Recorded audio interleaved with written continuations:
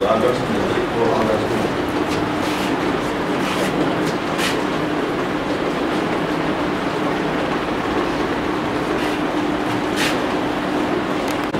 here,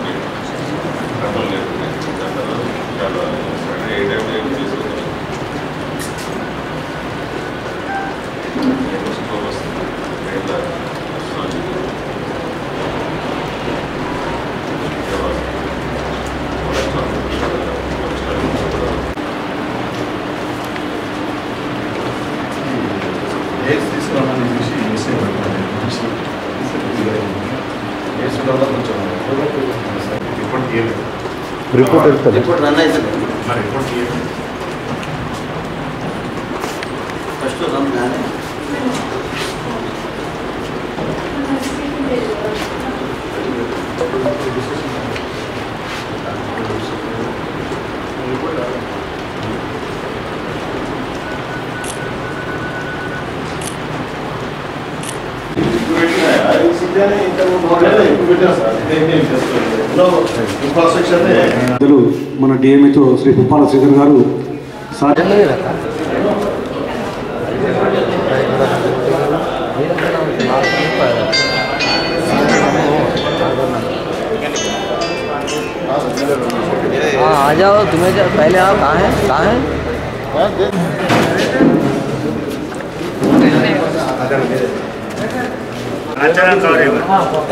ఎడమ కన్ను వేయండి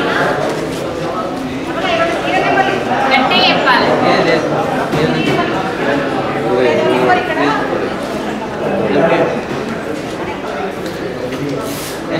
ఎన్నా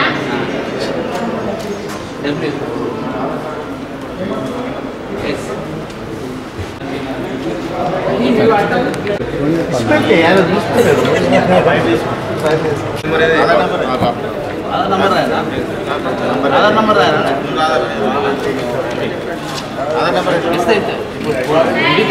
అదే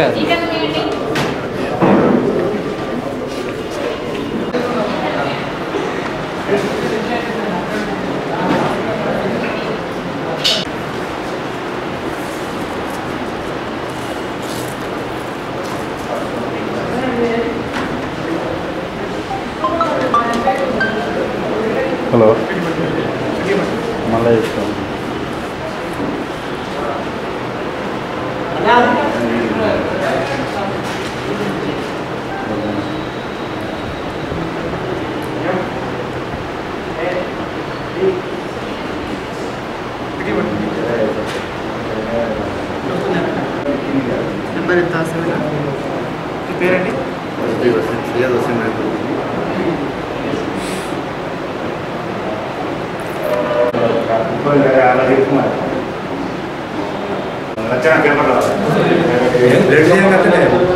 పేరండి శ్రీధర్ సార్ గారికి మన డిపోమనేర్ గారు చాలా పాటు సన్మానిస్తున్నారు. సార్ మా అమ్మవారు మరణించి మా ఎండి గారు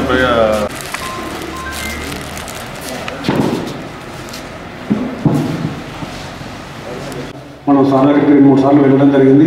వెళ్ళినప్పుడు సార్ ఫస్ట్ మనకు ఫస్ట్ ప్రియారిటీ ఇచ్చి మన జైచాల్ డిపోలో పట్టి మొ- మొట్టమొదటిసారిగా మనకు జిల్లా లోపల మన జగిత్యాల జిల్లా లోపల కోట్ల పెట్టుకునే కంటే ముందు మన జగిత్యాల జిల్లా లోపల మనకు వాళ్ళ గాంధీనగర్ నుంచి స్టాఫ్ ఇచ్చి పూర్తి టెస్ట్ చేయడానికి సహకరించేందుకు మేము వినియోగించుకుంటాం తప్పకుండా సార్. మాకు అవైలబుల్ గాంధీనగర్ ఉంటుంది కాబట్టి సార్. ఏమైనా ఉన్నప్పుడు మేము కూడా డైరెక్ట్ గాంధీనగర్ పంపుతున్నాం సార్.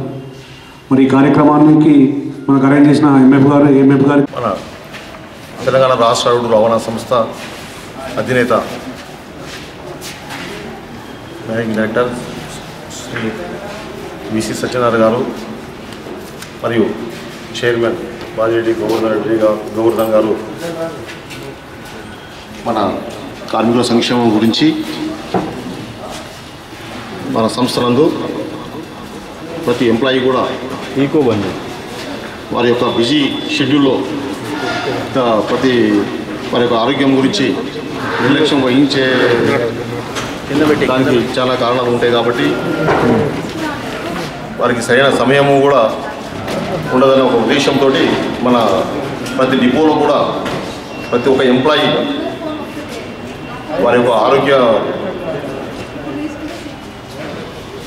పరీక్షలు నిర్వహించుకోవడానికి వీలుగా ఒక ఈ యొక్క హెల్త్ ఛాలెంజ్ క్యాంపును ఏర్పాటు చేయడం జరిగింది. ఆ క్రమంలో జగిత్యాల డిపో నందు ఈరోజు ఇరవై ఐదు ఇరవై నాలుగు నుంచి డిసెంబర్ ఒకటి వరకు ఈ యొక్క క్యాంప్ నిర్వహించబడుతుంది. ఈ క్యాంపులో జైతాల డిపో నందు ఉన్నటువంటి ఐదు వందల ఇరవై నాలుగు మంది ఎంప్లాయీస్ మన హైర్ బస్ డ్రైవర్స్తో కూడా కలుపుకొని ప్రతి ఒక్కరు కూడా వారి యొక్క ఆరోగ్య పరీక్షలు నిర్వహించుకొని అట్టి పరీక్షల్లో క్రిటికల్గా ఉన్న వాటికి వెంటనే కార్పొరేట్ హాస్పిటల్ కానీ రెఫరల్ హాస్పిటల్ కానీ డైరెక్ట్ చేసి వారికి తక్షణ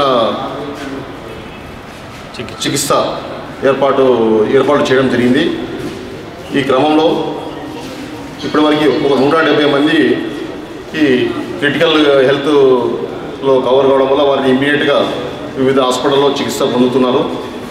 ఇటు కార్యక్రమం ప్రవేశపెట్టినటువంటి ఎండి గారికి మరియు చైర్మన్ బాజిడి గోవర్ధన్ సార్ గారికి కృతజ్ఞత తెలియజేసుకుంటూ ఈరోజు ఆ జగిత్యాల డిపోనందు ఈ హెల్త్ క్యాంపును ఓపెనింగ్ అంటే ప్రారంభోత్సవం చేయడానికి చేసినటువంటి జిల్లా మెడికల్ హెల్త్ ఆఫీసర్ గారికి శ్రీధర్ సార్ గారికి నా యొక్క మా అందరి తరఫున కృతజ్ఞతలు జగిత్యాల్ పట్టణంలో ఉన్న డిపో మేనేజర్ గారి బస్ డిపో మేనేజర్ గారి ఆహ్వానంతో ఈ మెడికల్ క్యాంప్ రావడం జరిగింది.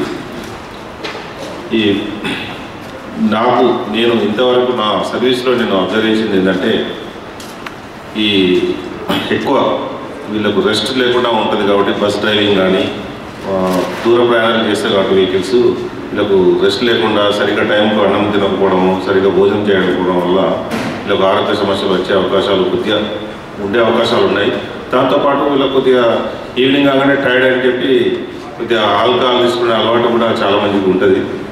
దీంతో ఆరోగ్య సమస్యలు వచ్చే అవకాశాలు ఉంటాయి కాబట్టి దీని ఉద్దేశంగా వీళ్ళ చైర్మన్ గారు ఈ డిసిజన్ తీసుకోవడం చాలా మంచి ఉద్దేశం.